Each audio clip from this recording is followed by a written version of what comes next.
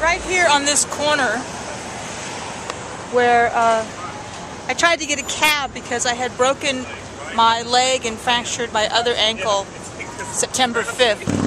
And along this wall, everybody was pointing up to the sky. The Twin Towers were visible from this corner. Right now, all you see is the sky. And one of the towers had already been hit by a the first airplane. That morning, I was trying to catch a cab because I was in extreme pain from the uh, leg ankle fracture. I was trying to catch a cab to go to a, uh, a hospital to get a uh, hard cast put on because I had, uh, like I said, I fractured my ankle on the 5th. And I did manage to catch a cab because when I saw the the fire in the first tower, I thought it was a small plane that had crashed into it. I didn't know it was an airliner at that time, and I didn't know it was a terrorist attack at that time. Until I got to the hospital on Union Square. So I managed to find a cab with my crutches and in total pain and saying, uh, bless those poor people up there, but I got to get a hard cast on this, on this ankle. So I get to the clinic, one of those uh, places where they just do bones and, and joints. And as I sat there uh, waiting for the you know the practitioners to come in to put a hard cast on my ankle, word started coming in that the twin towers were being attacked, and I had seen the first the first thing. I had overheard from the people in the crowd that a plane had crashed in there, and because I was in such pain, I was definitely distracted. But people started rushing into the uh, the waiting room and saying that we were being attacked, we were being attacked, and that they were attacking the Empire State Building. Then the report that towers collapsed, and that was unfathomable, unimaginable, unmanageable. So, so they they just stopped. They weren't going to put a hard cast on me because they were going to do triage. So they put me in a wheelchair, rolled me out to the sidewalk, and just gave me some crutches, and off I went. I could barely walk. And what I saw at Union Square was uh, amazing. I won't go into detail now, but but it was amazing.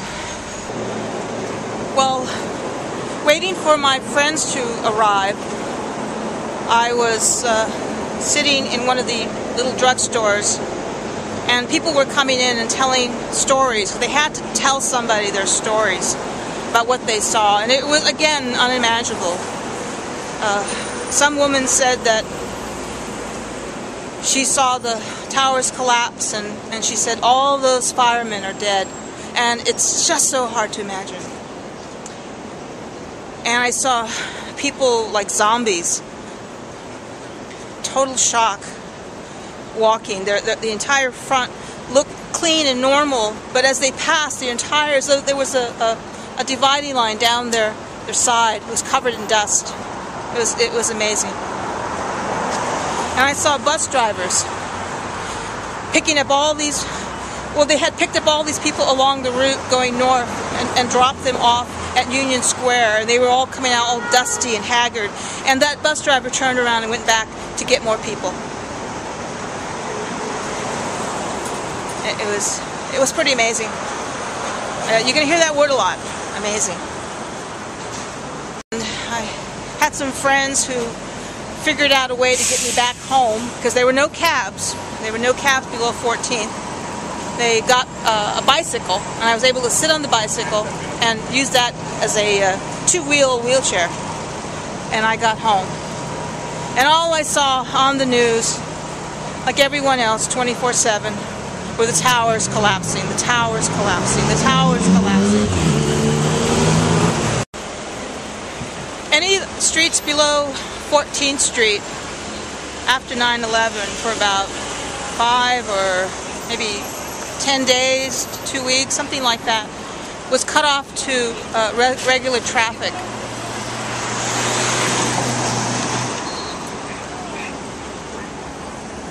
And for a city, there was there was no uh, there was no deliveries.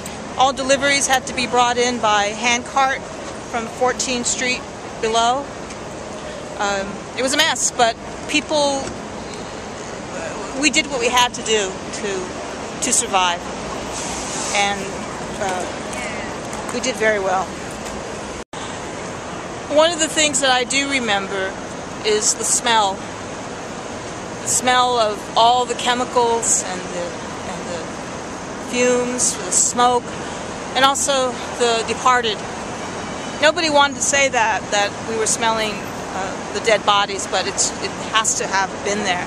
There were up to 3,000 people. So, yeah, I'll never forget the odor. Never forget it. And it lingered, it lingered for, for weeks and weeks, and it was just everywhere and uh, Brooklyn got it the worst. I think they had the plume of smoke travel over there the most.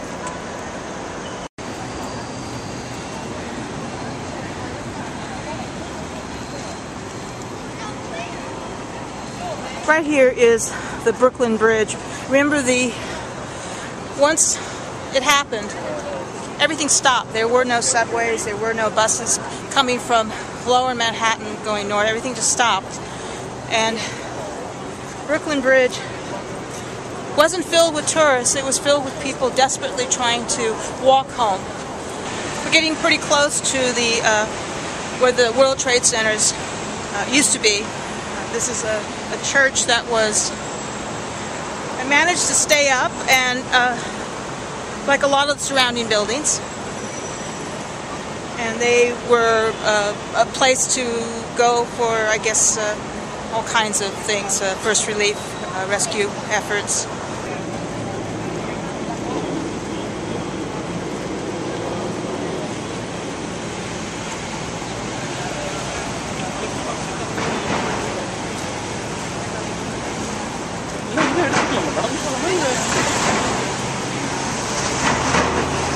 Well,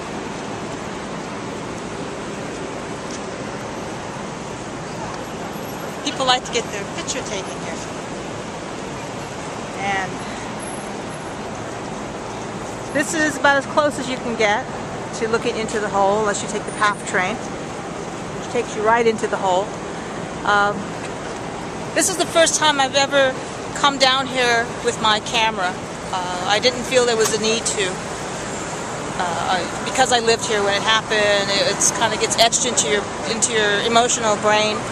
But here I am because I just wanted to let you know that the uh, 10th anniversary of 9-11, such as, as it's called, is coming up shortly and a lot of people uh, are still uh, healing from it and feeling from it and acting because of those emotions in their life and and possibly uh, emotions like hate, anger, frustration, distrust, uh, betrayal, uh, a bunch of stuff like that. Sadness because they lost family and friends in this tragedy.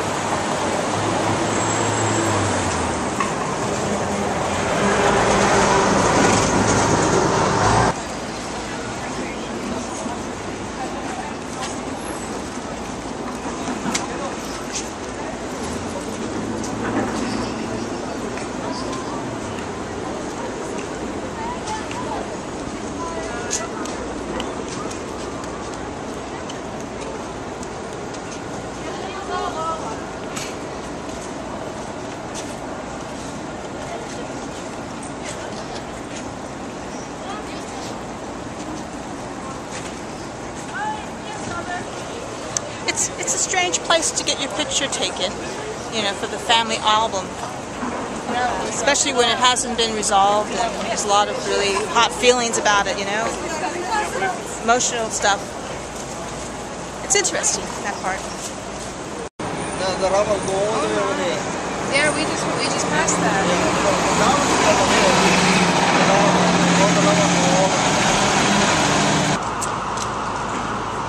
They say a lot has already been said about 9-11 and the people who died there and the people who died in Washington D.C. and in Pennsylvania and also the people who are now dying overseas.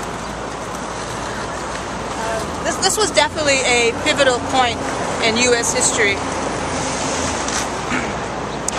And I, I'm not sure exactly what to say as well. You know, I shot that video, the 9-11 video, remembering uh, that morning in August. And I, you know, I processed some stuff, just like a lot of people. And I didn't realize how much I still had in reserve as far as emotion. Uh, I would say on a scale of 0 to 10 in the EFT world, I'm down to about 1. I think that has a lot to do with media always bringing up a new aspect. And the latest one for me was listening to the uh, voices of the flight attendant talking about uh, the uh, pilots had been stabbed and, and them speaking to the tower. So you, you can tell that, that it's not going to be easy to, to eliminate all your aspects because they're going to come up because the media needs to make a profit. They need to sell advertisements. So be it. I would say as you go through the next few days, next few years, next few months, that you allow yourself to feel. Allow yourself to cry. Allow yourself to be in a uncomfortable zone every now and then. And when that zone gets too tight and it wants to crush you, please start tapping. Start tapping, even though it's just too much. I just want to move on. Uh, it's so painful. It's so painful. Just keep allowing yourself to feel and then tap on it, and you're going to feel a lot better. Uh, it's been really interesting making that video. Like I said in the video, that was the first time I ever brought a camera down to the uh, site. I would say that in the next few days, the next few months, you're going to be bombarded by a lot of media around 9-11. And the media is going to be projecting how you are going to be feeling. And they want to hit you hard because, like I said, they want to make a buck. So, a lot of people uh, will be listening to a lot of broadcasts, a lot of media, a lot of TV on Sunday, September 11th. And if you should be watching and you can't seem to shake it, even after you feel that you could shake it, you need to tap. Because tapping will help release all that stuck energy and just let it out so it doesn't get trapped in your body. Go ahead, watch it. It's like watching a car wreck, right? You can't take your eyes off of this. So remember to tap and be alert to how you feel. And if you sense you are uh, having uh, nightmares or you can't sleep or you're agitated, uh, uh, uh, things are troubling you, things aren't going well where they used to go smoothly, tap on it. It could be a part of all this media attention around 9-11. So take care, uh, allow yourself to be confused and, and out of focus because once you recognize that that's happening, then you can go back and tap. So this is Lillian Fimbres from The Genuine Life, and take care.